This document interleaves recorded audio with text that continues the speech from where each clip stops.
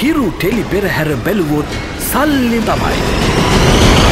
දබියාවේ අබතන්නට මම දැන් මේ ඉන්නේ A9 පාරේ. අබතන්නෙන් බිහිවන හිරු ටෙලිපෙරහැර බලන වාසනාවන්ත පවුලට හිමිවන මුදල් ප්‍රමාණය තමයි අතේ තියෙන්නේ. පරක්කු කරන්නද අපි ගිහිල්ලා බලමු අද දවසේදී.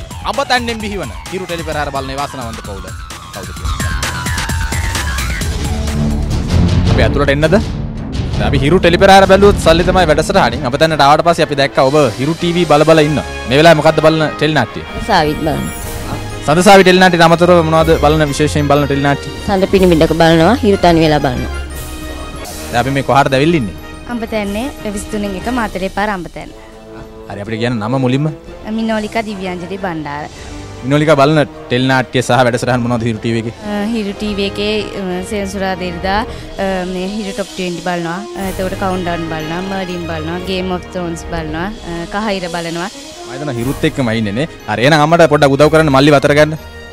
හොඳයි. අද දවසේදී අඹතැන්නෙන් බිහිවන හිරු ටෙලිපෙරහැර බලන්නේ වාසනාවන්ත පවුල. ඔබයි ගණන් කරන ගණන් කරලා බලන්න කීයක් තියෙනවද කියලා රටටම ඇහෙන්නේ කියන්න ඔබ අතේ තියෙන මුදල් ප්‍රමාණය. 1000යි 2000යි 3000යි 4000යි 5000යි 6000යි 7000යි 8000යි 9000යි 10000යි 11000යි 12000යි 13000යි 14000යි 14000ක් තියෙනවා.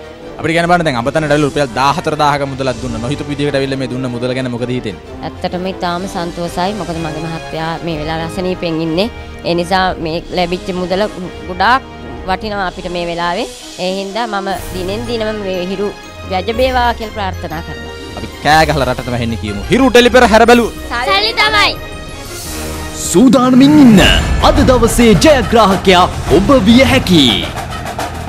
හිරු ටෙලි පෙරහැර බැලුවොත් සල්ලි තමයි.